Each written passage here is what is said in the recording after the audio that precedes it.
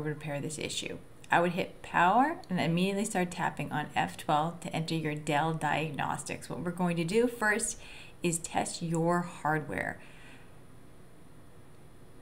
Hit power again, tap on F12. Sometimes it takes a couple tries to get in there, but slowly but surely it will take me to this screen.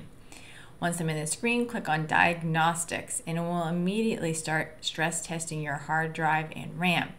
So, two things. If your hard drive fails a diagnostic, then you're going to need to go ahead and replace that. We have a video down below on how to do that.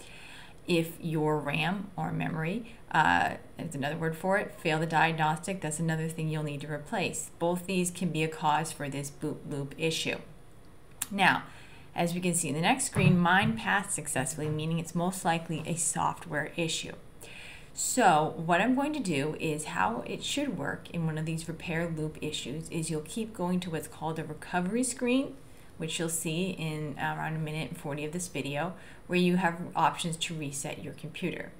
If you are not for some reason reaching that reset screen, it could be an issue that your system is just so corrupt you need a fresh install of Windows. So if you're not reaching that screen, use our video down below to reinstall Windows. That would be the next step for those people. But if you do reach this screen, then the next step would be hit troubleshoot and then reset this PC. Um, there's a keep my files option and the remove everything option. Keep my files does not work as well for repairing this issue. You can try it, um, but you might need to do the remove everything option like I'm selecting and then local reinstall is what I'm going to select. Uh, you can try the cloud download, but it is a little bit more complicated and it doesn't work for every setup. So we're going to go with a local reinstall. So I'm going to select local reinstall and this should fish, fix that preparing automatic repair loop. Usually there's an issue with your operating system and that's why we're doing this because we've established the hardware is good. So I'm going to do fully clean the drive. Now keep in mind when I do this I will lose all my data. You can also do that original one where I showed you to keep my files option, but this option does make you lose all your data. Once I hit reset, the reset will start. Now, if you find the reset does not complete, errors out, or just takes hours on end and never seems to complete, then you will also need to try that reinstall of Windows option. Um, and once again, we have a video on how to do that from a USB down below. So if you find this video in any way helpful, please like and share. And from one egghead to another egghead, this is Liz signing out.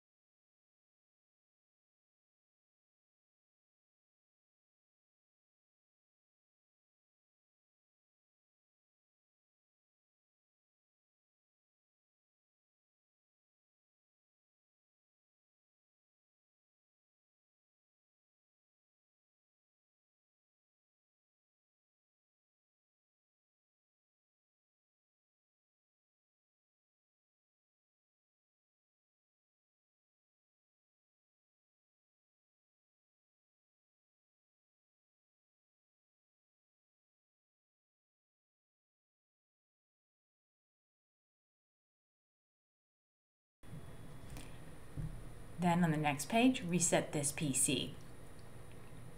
Now you have two options. Keep My Files does not work as well, um, but you will keep all your files, but remove everything is the absolute best way to find fix an issue like this. You can try keep my files first, but I'm going to go with remove everything.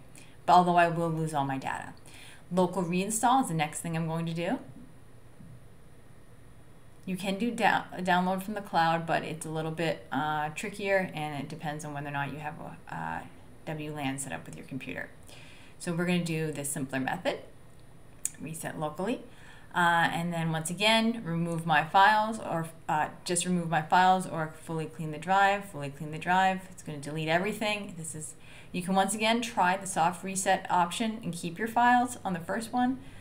But as I said, it doesn't work as well. So you can fully reset. I'm going to hit the reset button. Um, but that's how you go ahead and reset your computer. If for any reason this doesn't work, uh, the next step in the troubleshooting method would be to reinstall the operating system because it could be that your system's too corrupt. You can use that with a USB. Uh, we have a video on that down below how to reinstall Windows. So if the reset errors out, doesn't complete, the next step would try to do a complete fresh install of Windows.